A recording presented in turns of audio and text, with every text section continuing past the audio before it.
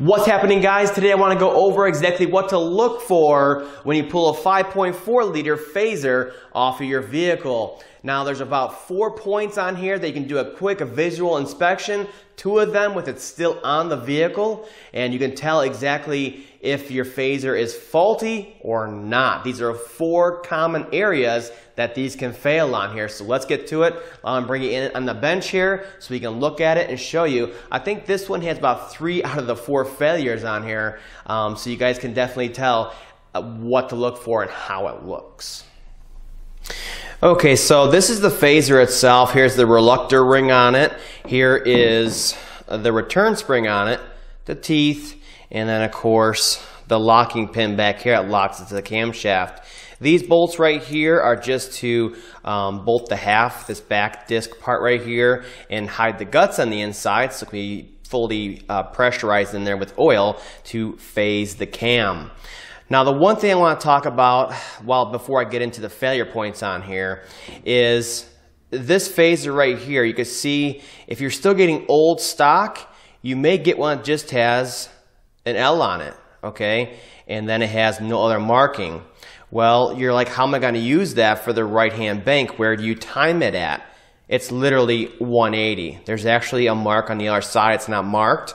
There's the L, 180, and there's another mark over here. This is the mark you use for the right-hand side, that tooth right there, line up with that mark. Now, the service ones that came out later, they had an R on the side and an L on this side, and they were universal, and obviously it was very self-explanatory. But these early ones that are still getting out there somehow, um, they only had the L on them or the R.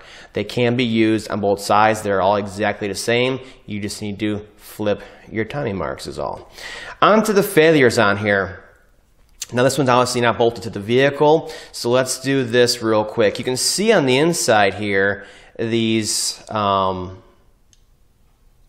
these roll pins. There's three of them in here. And you can see how loose this one is. I mean, they're just, they're very loose in here and they can also be missing from here. And these actually hold on the reluctor ring properly. Now, this would normally be sucked in, okay, flat.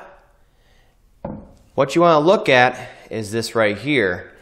Now you can see right now because it's not bolted in, um, it, it's definitely sticking out. You see the top part here sticking out and down below here it's way in. I mean you could see it's, it's definitely a lot closer to the base and out here it's just sticking way out. Let's see if I can get you a better idea that. There you go.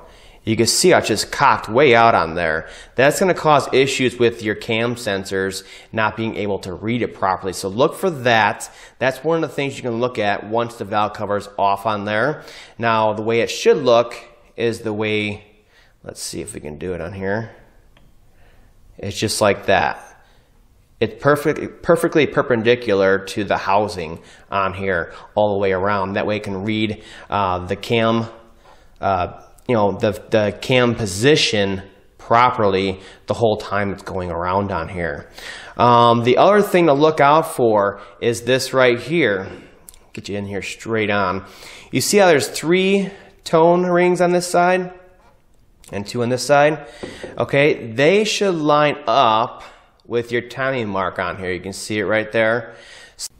So that's one other thing to look for. It must line up with the tiny mark on there, and that way you know um, it's not cocked in here anyway. It's going to cause any kind of P0016s or 118s on here. Uh, the other thing to look out for on here is the back side. Once it's off, you can look at the pin on here to make sure it's not worn and shiny on one side or mangled in any way. And that way you know that the last person that worked on it um, did not put it on there correctly, did not align it to the camshaft itself properly. And it actually got uh, chewed up in there. And of course, at that point, it can move a little bit and your timing would be off also. Um, I'm to go inside this real quick. Um, those are the, the, the, four points, but I'm to go inside of this real quick to give you a better idea of what's inside here in case you didn't see the other video and how the internals of the, the phaser can cause noise um, going down the road.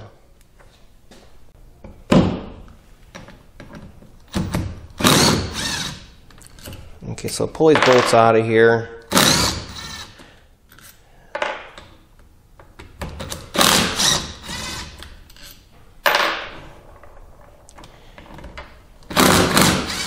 The one bolt we're going to leave in here is this one. We're just going to loosen it. And that's because that actually holds the return spring down here. It's the, it's the base locating point for it, so leave that one in. Uh, I want to show you the inside of this thing here though. Oh, there goes that. Um, but anything that gets damaged inside of here, now, these are being phased, these vanes are being phased to the actual camshaft in the center here. You see the center attaches to it, and it's using oil pressure to move these vanes. Okay, so it can phase the camshaft in relation to base timing.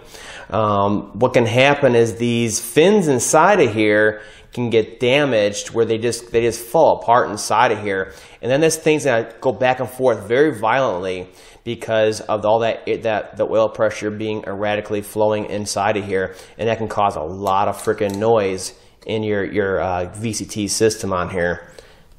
Let's see if I can show you here. Now, I understand by this point this is a last resort inspection, but if you are going inside of here to check for fin damage in any way, just make sure you leave that bolt in so you don't get your fingers nicked by that return spring. It's going to hurt a lot. Believe me, I did it the first time I opened one of these. Um, phasers. Phasers are very, very expensive. There goes the heat. Um, they're very expensive. The one thing you want to do is order them through Amazon, the OEM Ford phasers from Amazon. And the reason being is they're around 200 something, whereas from the dealer, I think they're close to $400 or 300 something each. Uh, so you can get really expensive real quick so you can save yourself a lot of money by buying them on Amazon. I'll put links to that down below. Okay, so I hope that helps you guys understand where the failure points are on there. Some of them may not be so evident until you get, uh, I guess, instructed exactly where to look on there. Then they'll be very evident on what uh, the, the failure point is on your particular phaser. Like I said, I'll put links down below to Amazon for these phasers from Ford. That's the ones I recommend, and you can get them for around $200, 230, something like that, instead of $330, $400 plus at the dealer per phaser so you can save a lot of money and get your vehicle fixed up all at the same time.